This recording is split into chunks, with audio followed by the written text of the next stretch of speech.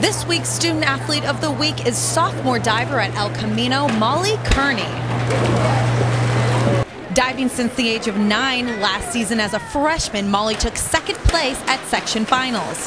That was that was really fun being a freshman. It was really fun um, getting second in sections. It was um, unexpected. She's aggressive in the pool in a good way, like, um, you know, like competitive, so she improves and, like, you know, she's really trying to get points for her team and stuff like that. It's really good.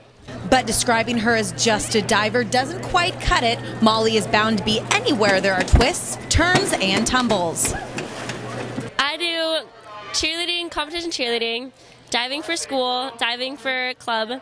I'm on the school swim team, uh, gymnastics. I'm on the golf team, and I do band.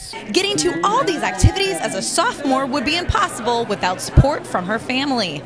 Um, it is nerve wracking at time, you know, getting through traffic. Um, and getting, you know, trying to work it out with work and running her from one event to another, but it seems to work out. And if she has the drive and she keeps her grades up, we're more than happy, her father and I, do that for her. Mm-hmm. We always worry about her burning out because she literally goes from the moment she wakes up until I'm telling her to put the book away and go to bed because she has to study into the night.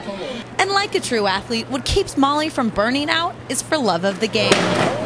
I love everything and I'm so athletic and I just love doing sports. I'm super competitive, so that's my way to like get all my competitive energy out on without being mean at one sport. So and I just have so many friends and it's just everything is so fun and I love it. So remember the name Molly Kearney, diver, gymnast, golfer, and cheerleader from El Camino High School.